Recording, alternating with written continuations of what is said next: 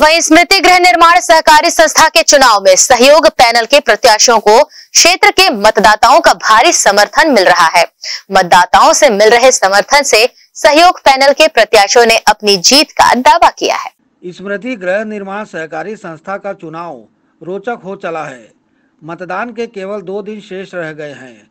चुनाव में उतरे सहयोग पैनल के प्रत्याशियों का क्षेत्र के मतदाताओं से सघन जनसंपर्क जारी है। वहीं सहयोग पैनल के प्रत्याशियों को मतदाताओं का खासा समर्थन भी मिल रहा है, जिससे प्रत्याशी अपनी जीत को लेकर उत्साहित हैं। प्रत्याशियों ने क्षेत्र की प्रमुख समस्याओं को अपना चुनावी मुद्दा बनाया है। साथ ही मतदाताओं के बीच समस्याओं को रखकर उसके निराकरण के वादे भी किए जा रहे हैं। प्रत्याशियों ने कहा कि जनता इस वर्ष हर हाल में परिवर्तन चाहती है। सहयोग पैनल के गणेश शंकर मिश्रा, मनोज अग्रवाल और सुरेश अग्रवाल ने विभिन्न मुद्दों को लेकर जानकारी दी। यहाँ जनता का सहयोग ऐसा मिल रहा है ना कि हर घर परिवर्तन चाह रहा है। उसका सबसे बड़ा कारण क्या है? किसी को कोई भी सुविधाएँ मिल नहीं पा रही है। दोहरी कर की मार झेल रहे हैं हम लोग। यहाँ अलग निगम में अलग।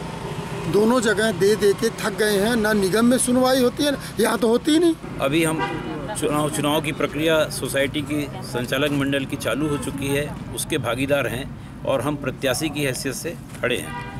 पंद्रह साल हो गया शासन करते हुए। जनता को एक भी वादा बता दे, एक भी कार्य बता दे जो उन्होंने अपने फंड से किया हो। जनता की भलाई के लिए या सोसाइटी की भलाई के लिए? बहरहाल 11 दिसंबर को मतदान के बाद ही स्पष्ट हो सकेगा कि क्षेत्र के लोगों ने किस पर विश्वास जताया है। वहीं सहयोग पैनल के प्रत्याशी मतदाताओं से मिल रहे समर्थन से खासे उत्साहित हैं। ग्रैंड एशियन न्यूज़ के लिए कैमरामैन प्रवीण मिर्जे के साथ संजय दुबे।